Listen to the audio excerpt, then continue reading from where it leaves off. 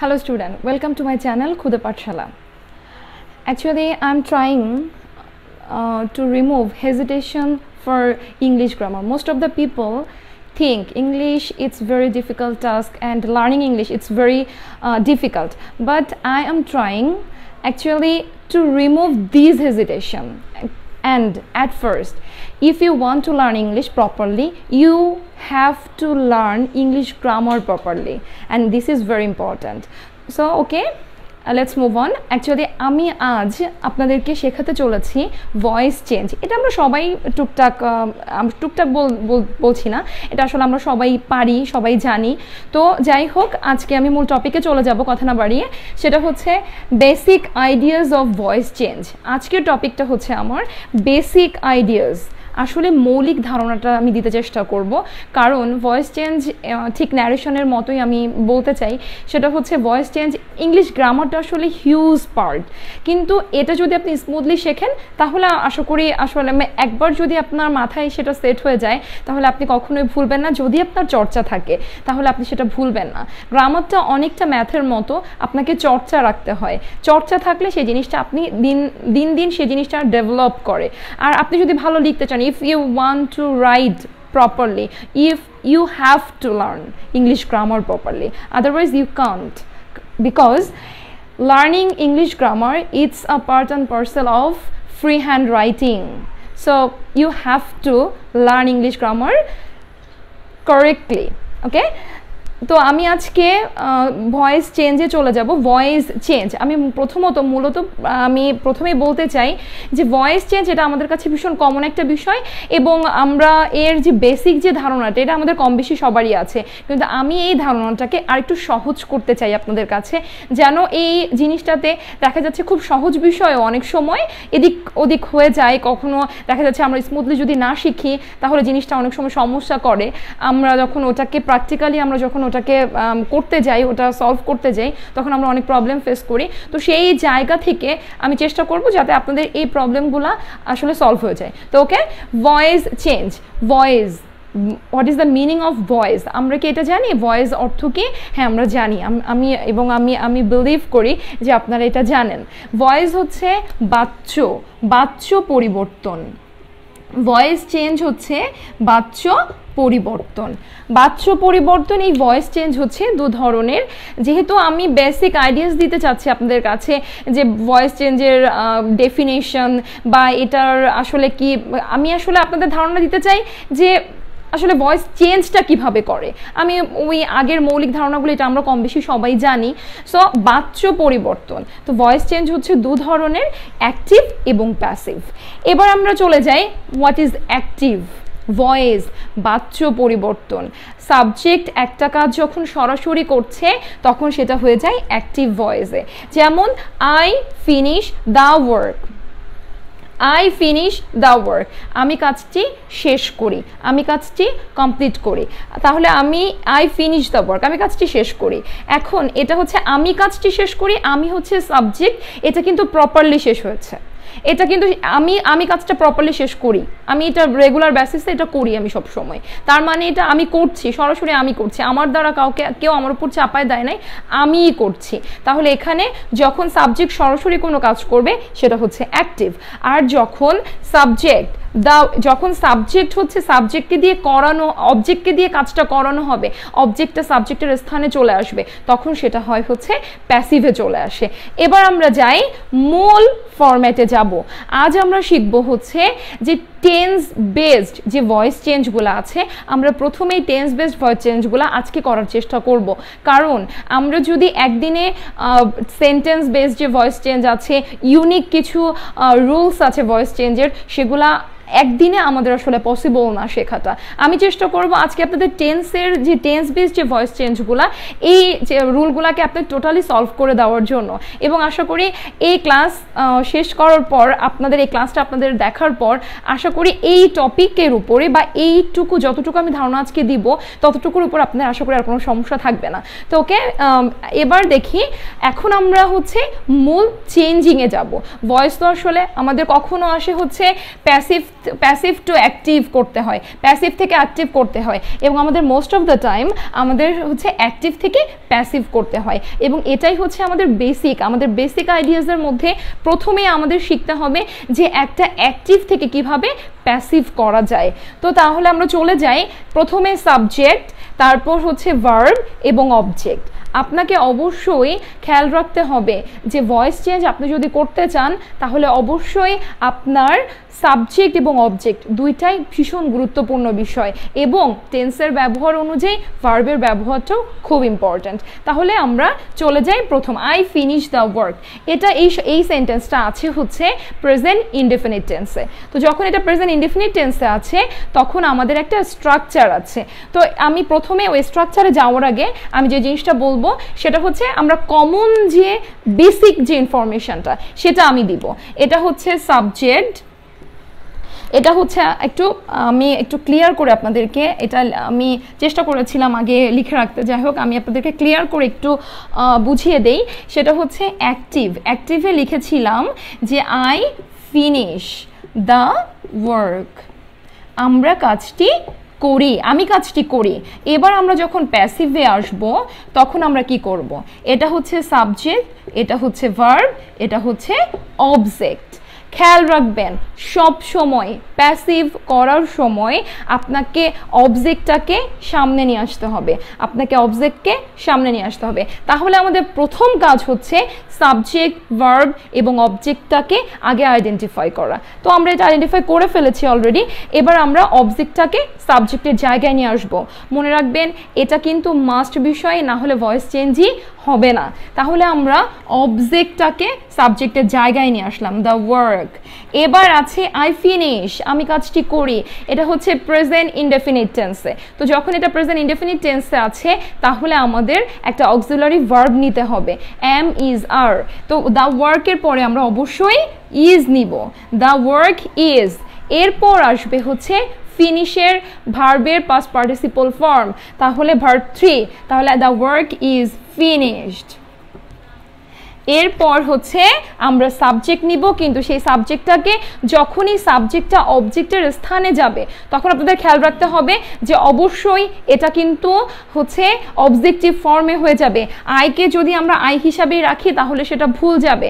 তার আগে আমাদের যে কাজটা করতে হবে, একটা বাই যুক্ত করতে হবে এবং আমরা আয়ের পরে হচ্ছে, আমরা আয়ের অবজেক্টিভ ফর্ম হচ্ছে মি তাহলে the work is finished by me এবার যাব হচ্ছে আমরা স্ট্রাকচারাল স্ট্রাকচারে যাব স্ট্রাকচারালি যে ডেফিনেশনগুলো আছে, যে স্ট্রাকচার আছে, সেই টেন্স অনুযায়ী আমরা সেই ডেফিনেশনে যাব এবং সেই স্ট্রাকচারে আমি স্ট্রাকচারে যাব এবং স্ট্রাকচার অনুযায়ী আপনারা যখন ওটাকে আমি যখন আমি আপনাদের দেখাতে চেষ্টা করব, তখন আপনারা ক্লিয়ার হয়ে যাবেন। আমরা প্রথমে ধারণা নিলাম যে আমরা কখনোই সাবজেক্টকে সাবজেক্টের স্থানে রাখতে পারব না ভয়েস প্যাসিভ করার সময় এবং অবজেক্টকে সাবজেক্ট বানাতে হবে সাবজেক্টকে অবজেক্ট বানাতে হবে। এবার চলে যাব আমরা হচ্ছে মূল ট্রিক্সে ওকে এবার হচ্ছে চলে যাই প্রেজেন্ট ইনডেফিনিট টেন্স টেন্স অনুযায়ী আমি প্রথমেই বলেছিলাম যে আমি টেন্স অনুযায়ী আপনাদেরকে একটা স্ট্রাকচারে বোঝানোর স্ট্রাকচার বোঝানোর চেষ্টা করব। আর ওই স্ট্রাকচার আপনারা যখন ক্লিয়ার হয়ে যাবে আপনাদের কাছে কনসেপশন তাহলে আর কখনোই সেটা আর ভুল হবে না। আপনারাও ভুলবেন না, আশা করি। তাহলে চলে যাই মূল বিষয়টাতে। Present indefinite tense present indefinite indefinite প্রত্যেকটা টেন্স অনুযায়ী এটা অ্যাজ প্রেজেন্ট ইনডেফিনিট টেন্স এটা টেন্সের স্ট্রাকচার অবশ্যই নয়, এটা হচ্ছে ভয়েস করার জন্য ভয়েস চেঞ্জ করার জন্য যে স্ট্রাকচারটা ব্যবহার করা হয়, সেটাতে আমি যাব। প্রথমেই যাব প্রেজেন্ট ইনডেফিনিট ইনডেফিনিট টেন্সের স্ট্রাকচারে যাব আমি। প্রথমেই হচ্ছে অবজেক্টিভ সাবজেক্ট আমি এটাকে সংক্ষেপে বোঝাতে চেয়েছি যে আমরা অবজেক্টিভ সাবজেক্ট প্লাস এম অথবা ইজ অথবা আর টেন্স অনুযায়ী পার্সন অনুযায়ী অথবা সাবজেক্ট অনুযায়ী plus verb three plus by plus subjective object খেয়াল করেন। I complete the work structure অনুযায়ী আমি বোঝাই দিব। I complete the work I subject complete verb the work হচ্ছে অবজেক্ট এবার আমরা চলে যাই প্রথমে অবজেক্টিভ সাবজেক্ট তাহলে আমরা অবজেক্টকে সাবজেক্ট করে দিব দ্য ওয়ার্ক এরপর হচ্ছে এম ইজ আর এই যে কোনো একটা আমরা এই সাবজেক্ট অনুযায়ী বসাবো দ্য ওয়ার্কের পরে আমরা ইজ বসাবো। যেহেতু এটা প্রেজেন্ট ইনডেফিনিট টেন্সের ভয়েস চেঞ্জের স্ট্রাকচার তাহলে দ্য ওয়ার্ক ইজ কমপ্লিটেড এরপর আসবে বাই বাই এরপর আয়ের অবজেক্টিভ ফর্ম মি ব্যাস কমপ্লিট প্রেজেন্ট ইনডিফিনিট টেন্স এবার আমরা চলে যাব প্রেজেন্ট কন্টিনিউয়াস আজকে আমরা যেটা শিখব টেন্স অনুযায়ী আমরা স্ট্রাকচারগুলো বুঝে নিব। আর এভাবে যদি আমরা বুঝি, তাহলে আমাদের কখনোই ভয়েস চেঞ্জ ভুল হবে না। ওকে এবার আমরা চলে যাই প্রেজেন্ট কন্টিনিউয়াস প্রেজেন্ট কন্টিনিউয়াস টেন্সের স্ট্রাকচার হচ্ছে ভয়েস চেঞ্জ অনুযায়ী। অবজেক্টিভ সাবজেক্ট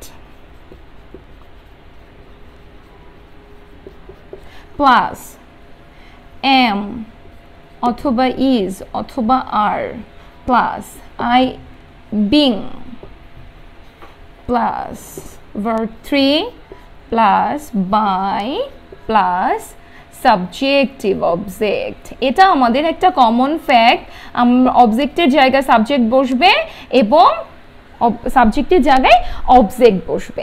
এবার আমরা এক্সাম্পলে চলে যাই। এক্সাম্পলে যখন আমরা বুঝব এক্সাম্পল সাথে সাথে, তখন আমাদের বিষয়টা একেবারে ক্লিয়ার হয়ে যাবে। তাহলে আমরা প্রথম সেন্টেন্সটা কি করেছিলাম? আই কমপ্লিট দ্য ওয়ার্ক তাহলে আমি এখন লিখব I am completing the work completing the work এবার আমরা স্ট্রাকচারের সাথে মিল রেখে এটা সলভ করে ফেলব যে অবজেক্টিভ সাবজেক্ট তাহলে দ্য ওয়ার্কটাকে আমাকে অবশ্যই প্যাসিভ করার সময় নিয়ে আসতে হবে। দ্য ওয়ার্ক এরপর আছে অ্যামিজার ইজ বসবে দ্য ওয়ার্কের পরে। এরপর একটা শব্দ বিং এবার আমরা আসি কেন বিং হলো? কারণ হচ্ছে এই বিংটা কেন হলো? একটা জিনিস আমাদের মনে রাখতে হবে, সেটা হচ্ছে যে আমাদের ভয়েস চেঞ্জের সময় আমাদের এই জিনিসটা সব সময় মাথায় রাখতে হবে যে অবজেক্টিভ সাবজেক্ট এরপর অক্সিলারি ভার্ব ভার্ব থ্রি আপনাকে সব সময় মনে রাখতে হবে যে ভার্ব থ্রি কিন্তু মাস্ট এরপর হচ্ছে বাই অবজেক্ট সাবজেক্টিভ অবজেক্ট সাবজেক্টটা অবজেক্টের স্থানে চলে যাবে এবং সাবজেক্টের অবজেক্টিভ ফর্ম ব্যবহার হবে। আর হচ্ছে অবজেক্টের সাবজেক্টিভ ফর্ম ব্যবহার হবে। এবং যে বিষয়টা সেটা হচ্ছে অবশ্যই ভার্ব থ্রি দ্যাট মিনস ভার্বের পাস পার্টিসিপল ফর্ম বসবে এবং বাই ব্যবহার হবে। এটা ছাড়া আপনার কিন্তু বাই ব্যবহার হবে এবং কখনো কখনো প্রিপোজিশনাল কিছু চেঞ্জ আসবে, সেটা আমি আমার নেক্সট পার্ট ভয়েস চেঞ্জে যখন আমি নেক্সট পার্টটা বোঝাবো, তখন আমি সেগুলো ক্লিয়ার করে দিব।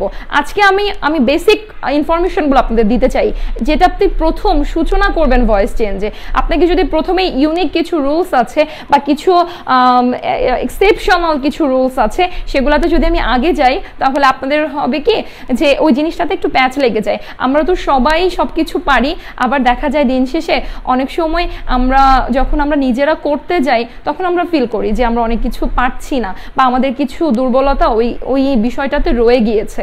তখন, তাহলে আমাদের কি করতে হবে যে আমাদের এই প্রথমত বেসিক যে ইনফরমেশনসগুলো ওটা যদি আপনার ঠিকঠাক মতো আপনার ভেতরে ওটা সেট হয়ে যায়, তাহলে আপনার এই জিনিসটা আর কখনোই ভুল যাবে না। তাহলে ওকে ফাইন এবার চলে যাই যে আমাদের যেহেতু কন্টিনিউয়াস টেন্স আমি টেন্সের আমার যে ভিডিওটা আছে tense part one tense part two তো ওই ভিডিওগুলোতে আমি কিন্তু শেয়ার করেছি যে কন্টিনিউয়াস টেন্স মানে ভার্ব প্লাস আইএনজি আইএনজির ব্যবহারটা আপনাকে থাকবে সেটা ভয়েস চেঞ্জ হোক, সেটা আপনি সিম্পল একটা কিছু লিখেন বা আপনি টেন্স মানে কন্টিনিউয়াস মানে একটা আইএনজির ব্যবহার থাকে। তাহলে আমাদের যেহেতু এটা প্রেজেন্ট কন্টিনিউয়াস টেন্স এজন্য এটাকে এখানে আমরা আইএনজির ব্যবহারটা রাখতে, যেহেতু আমাদের মূল ভার্বটা ভার্ব থ্রি হবে প্যাসিভে আমরা এজন্য বিং ব্যবহার করব। তাহলে চলে যাই যে the work I am completing the work আমি আমার কাজটি শেষ করছি। The work is being am is are এর যে কোনো সাবজেক্ট অনুযায়ী ইজ বসল, এরপর বিং এরপর এই যে কমপ্লিটিং এটার ভার্ব থ্রি হবে কমপ্লিটেড completed, এরপর the work is being completed by me আশা করি এইটুকু আপনাদের পুরোপুরি ক্লিয়ার হয়ে গিয়েছে ধারণা। এবার আমরা শিখব হচ্ছে present perfect present perfect tense অনুযায়ী ভয়েস চেঞ্জের যে স্ট্রাকচার স্ট্রাকচার আছে, সেটা আমি শেখাতে চেষ্টা করব। ওকে প্রথমেই চলে যাই। এরপর হচ্ছে আমরা আমরা একটু, আমি আসলে মুছলাম না সম্পূর্ণটা, আমাদের এইটুকু তো প্রয়োজন হবে সবসময় যে অবজেক্টিভ সাবজেক্ট এবার যে চেঞ্জটা হবে শুধু স্ট্রাকচারে আমাদের একটা ছোট্ট চেঞ্জ হবে, সেটা হচ্ছে হ্যাভ অথবা হ্যাজ হ্যাভ অথবা হ্যাজ যেহেতু এটা পারফেক্ট টেন্স প্রেজেন্ট পারফেক্ট এর জন্য আমরা হ্যাব অথবা হ্যাজ এবার আমরা একটা কথা জানি যে প্রেজেন্ট পারফেক্ট টেন্সের মানে সিম্পল যে স্ট্রাকচার আছে টেন্সের যে স্ট্রাকচার আছে, সেটা হচ্ছে সাবজেক্ট হ্যাব অথবা হ্যাজ ভার্ব থ্রি অবজেক্ট তাহলে আমাদের এটা, এই স্ট্রাকচারটা যদি আমরা ভয়েস চেঞ্জে ফলো করি, তাহলে আমাদের হবে না। কারণ হচ্ছে, যখন আমাদের একটা অক্সিলারি ভার্ব লাগবে, এবং অবশ্যই ভার্ব থ্রি লাগবে, কিন্তু তার আগে একটা বিন লাগবে। বিন লাগবে, এটাই হচ্ছে ভয়েস চেঞ্জের প্রেজেন্ট পারফেক্ট টেন্স অনুযায়ী একটা স্ট্রাকচার সাবজেক্ট হ্যাভ অথবা has been verb three by subjective object এবার আমরা চলে যাই, এবার আমরা চলে যাব হচ্ছে এক্সাম্পলে যেমন হচ্ছে আই হ্যাভ কমপ্লিটেড আমি একটা সেন্টেন্স দিয়ে করছি এ কারণেই যাতে আপনাদের সুবিধার্থে আপনারা যেন ওটাকে কানেক্ট করতে পারেন। প্রথম থেকে ওই সেন্টেন্সটা কানেক্ট করতে পারেন এই এক্সাম্পলের সাথে। I have completed the work এবার আমরা টেন্স অনুযায়ী প্রথম সেন্টেন্সটা করেছি। কারণ হচ্ছে এটা তো অ্যাক্টিভ সাবজেক্ট সরাসরি করছে। কিন্তু আমরা প্যাসিভে তো সাবজেক্ট সরাসরি কাজ করে না অবজেক্ট দিয়ে করানো হয়। তাহলে আমরা অবজেক্টিভ সাবজেক্টে চলে যাব দ্য ওয়ার্ক এরপর দা ওয়ার্ক দা ওয়ার্কের পরে হ্যাব অথবা হ্যাজের যে ব্যাপারটা, ব্যবহারের যে ব্যাপারটা থাকে, সেটা আমি আজকে ক্লিয়ার করে দিই। হ্যাব হচ্ছে আপনার first person I we first পারসনের পরে হ্যাব ব্যবহার হয় এবং প্লুরাল প্লুরাল ফর্মের পরে হ্যাব ব্যবহার হয়। যেমন পিপল দে এই শব্দগুলোর পরে হ্যাব ব্যবহার হয়। আর বাকি সব থার্ড পার্সনের ক্ষেত্রে আপনার হ্যাজ ব্যবহার করতে হবে। তাহলে দ্য ওয়ার্ক হ্যাজ এরপর হচ্ছে বিন যুক্ত করব। দ্য ওয়ার্ক হ্যাজ বিন আমি আর লিখলাম না। The work has been completed by me sentence অনুযায়ী। এবার আমরা চলে যাই প্রেজেন্ট পারফেক্ট কন্টিনিউয়াসের রুলে present perfect continuous present perfect continuous এটা আমরা খেয়াল করব যে আমাদের প্রেজেন্ট পারফেক্ট কন্টিনিউয়াস তার মানে ওই যে আমাদের এই এই রুলটা আমাদের মাথায় রাখতে হবে। কন্টিনিউয়াস মানেই আইএনজি যুক্ত একটা শব্দ আমাদের দরকার হবে। বা আইএনজি যুক্ত মূল ভার্ব কখনো কখনো বির সাথে আইএনজি যুক্ত। যদি আমরা প্যাসিভ করতে চাই, তাহলে আমাদের কি করতে হবে যে subject, objective subject have been অথবা হ্যাজ বিন তারপর হচ্ছে বিং হ্যাজ বিন বিং যেমন হচ্ছে হ্যাভ বিন অথবা হ্যাজ বিন এর সাথে হচ্ছে বিং কারণ এই বিংটা ছাড়া আমরা প্যাসিভ করতে পারব না। কন্টিনিউয়াস টেন্সে আমাদের বিংটা সবসময়ই প্রয়োজন। তাহলে objective subject have been অথবা has been being verb 3 by subjective object তাহলে I have been completing the work for five years এই যে ফর এবার আমি এক্সাম্পলে গেলে আরও ক্লিয়ার হয়ে যাবে যে I have been completing I have been completing the work for five hours এবার খেয়াল করেন, এখানে কিন্তু একটা প্যাচ লাগার বিষয় আছে। For five hours the work এখন কি হবে? যেহেতু আমাদের অবজেক্ট এতক্ষণ ছিল তো একটা দা অবজেক্ট এখন the work for five hours এই, এইটা তো একটা প্যাচের বিষয় হয়ে গেল। একদম ইজি করে দিচ্ছি। আপনারা সব সময় মনে রাখবেন, যখন প্রিপজিশন থাকবে, যখন প্রিপজিশনের ব্যবহার থাকবে, তারপর তারপর যখন প্রিপোজিশনের ব্যবহার থাকবে, তখন হচ্ছে আপনার কিন্তু অবশ্যই এই প্রিপোজিশনের পরের অংশটা এক্সট্রা অংশ হিসাবে আমরা ধরে নেই। আমরা এক্সট্রা অংশ হিসাবে কিন্তু ধরে নেই। তাহলে আপনাদের কি করতে হবে? যে I have been completing the work for five hours আপনাদের এই বিষয়টাই মাথায় রাখতে হবে যে প্রিপোজিশন অফ থাকুক টু থাকুক ফর থাকুক এনি কাইন্ড অফ প্রিপোজিশন যদি ব্যবহার হয়, তাহলে অবশ্যই আপনাকে খেয়াল রাখতে হবে প্রিপোজিশনের পরে যে ব্যবহারটা থাকে, সেটা প্রিপোজিশনের পরের যে অংশটা, সেটা হচ্ছে এক্সট্রা অংশ।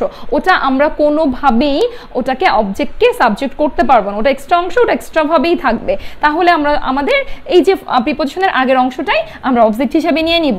দ্য ওয়ার্ক দ্য ওয়ার্ক এরপর কি আছে? হ্যাভ বিন অথবা has been being the work has been being the work has been being completed এরপর আপনি চাইলে এই যে ফর আছে, বাকি অংশটা আপনি দিতে পারেন এখানে for five hours by me ব্যাস। আপনি এই কমপ্লিটেডের পরে আপনি বাইয়ের আগে এক্সট্রা অংশটা যুক্ত করতে পারেন এবং তারপরে হচ্ছে বাই এবং objective subject subjective object sorry তো আজকে আমি এটা এবং আরেকটা ছোট্ট ধারণা দিব। আজকে প্রেজেন্ট টেন্সটাই আমি কমপ্লিট করলাম। কারণ হচ্ছে এক, একসাথে যদি আমি সবগুলাতে যাই, আপনাদের ছোট্ট আরেকটা প্রেজেন্ট টেন্সের বিষয়ের মধ্যে আরেকটা পার্ট আছে। সেটা হচ্ছে মোডাল অক্সিলারি আমরা অক্সিলারি ভার সম্পর্কে সবাই জানি সাহায্যকারী ভার্ব যেটা যখন ভার্বের মূল ভার্বের যখন সাহায্য প্রয়োজন হয়, তখন সে হাজির হয়ে যায়। তো auxiliary ভার্বটার am is are was were have has আমরা am is are have has এবং হচ্ছে প্রেজেন্ট টেন্সের অনুযায়ী ভয়েস চেঞ্জের স্ট্রাকচারটা আজকে শিখেছি। তবে আজকে আরেকটা রুল আমি শিখিয়ে আমার আজকের ক্লাসটা আমি শেষ করতে চাচ্ছি। সেটা হচ্ছে অক্সিউলারি আমরা প্রেজেন্ট টেন্সটা আজকে শিখলাম এবং আশা করি আপনারা ভালো করে শিখেছেন। তো একটা অক্সিলারি ভার্ব আছে মোডাল অক্সিলারি একটা বিষয় আছে, সেটা হচ্ছে may might can could shall should, will, would, need, must, dare. এই এই যে অক্সিলারি ভার্ব বলে, এই অক্সিলারি ভার্বের আবার নাম হচ্ছে মোডাল অক্সিউলারি এই মোডাল অক্সিলারি ভার্বের একটা ব্যাপার আছে। এই যে ভার্বগুলো আমি লিখেছি, এই ভার্বের পরে কখনো ভার্বের কোনো চেঞ্জ হয় না। কখনো চেঞ্জ হবে না। মূল ভার্ব বসে যাবে। তাহলে আমরা ভার্ব থ্রি কীভাবে করব প্যাসিভে তাহলে তো অবশ্যই আমাদের প্যাসিভে ভার্ব থ্রি করতে হবে। কারণ আমি আমরা যেটা জানি যে ভয়েস চেঞ্জে পাস পার্টিসিপল ফর্ম মূল ভার্বের হবে। তাহলে আমরা এখন কীভাবে করব? যেহেতু এই ভার্বগুলোর পরে মূল ভার্ব বসে। কখনো ভার্বে চেঞ্জ হয় না। কখনো চেঞ্জ হয় না। মূল ভার্ব বসে যায়। তাহলে কীভাবে চেঞ্জ হবে? তাহলে অবশ্যই একটা বিষয় আছে। সেটা হচ্ছে দেখেন, আমি মাস্ট দিয়ে করি। I must do the work. The work খেয়াল করেন the work এরপর হচ্ছে অবজেক্টিভ সাবজেক্ট এরপর আমরা মাস্ট বসালাম। এখন মাস্টের পরে তো ডুই বসবে, কারণ মূল ভার্ব তাহলে আমাদের ভার্ব থ্রি কীভাবে করব? আমরা ভার্ব থ্রি করতে চাইলে অবশ্যই একটা বি যুক্ত করতে হবে। এই যে আমি ভার্বগুলো দিয়েছি, এই ভার্বগুলার পরে আপনাকে বি যুক্ত করতে হবে। The work must be done be যুক্ত করার সাথে সাথেই আপনি ভার্ব থ্রি করতে পারবেন। By me subjective object okay viewers আমি চেষ্টা করেছি যে আপনাদেরকে আজকে প্রেজেন্ট টেন্সের টেন্স অনুযায়ী প্রেজেন্ট টেন্স অনুযায়ী ভয়েস চেঞ্জের যে স্ট্রাকচারটা আসে এবং মোডাল অক্সিউলারির অনুযায়ী যেটা ভয়েস চেঞ্জে যে ভয়েসটা চেঞ্জ করতে হয় মোডাল অক্সুলারি অনুযায়ী, সেটা আপনাদের শেখানোর জন্য। তো thank you students and see you in the next class and অবশ্যই একটা কথা আমি সবসময় যাওয়ার আগে একটা কথা বলে যাই, সেটা হচ্ছে আমার এই কাজটা বা আমার আমার শেখানোটা যদি আপনাদের একটু সহযোগিতা করে থাকে, তাহলে অবশ্যই do subscribe my channel Khude Pathshala and thank you very much